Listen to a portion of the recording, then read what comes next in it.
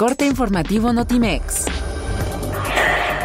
El director de la Organización Internacional del Trabajo, Guy Ryder, reconoció la importancia de la reforma en materia de justicia laboral que impulsa el presidente Enrique Peña Nieto al reunirse con el titular de la Secretaría del Trabajo y Previsión Social de México, Alfonso Navarrete Prida.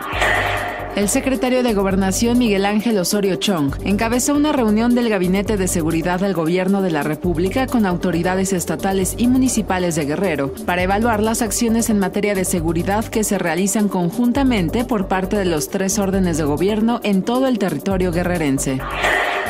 La Comisión Ambiental de la Megalópolis activó la fase 1 de contingencia ambiental por ozono, por lo que a partir del 3 de mayo se aplica el doble hoy no circula para automóviles con engomado verde y rosa, así como motocicletas con terminación de placas 1, 2, 7 y 8. El presidente Enrique Peña Nieto se reunió en la residencia oficial de Los Pinos con un grupo de congresistas de Estados Unidos, con quienes dialogó en torno a diversos aspectos de la relación bilateral y los lazos de amistad entre la Unión Americana y México.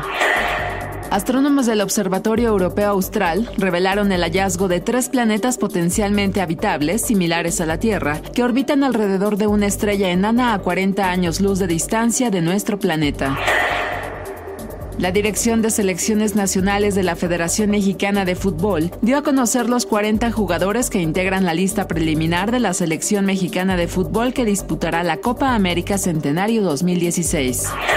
La directora general del Instituto Nacional de Bellas Artes, María Cristina García Cepeda, entregó el Premio Internacional Alfonso Reyes 2015 al escritor Sergio Pitol en su casa de Jalapa, Veracruz, con el objetivo de distinguir a personajes con una amplia trayectoria en el área de humanidades.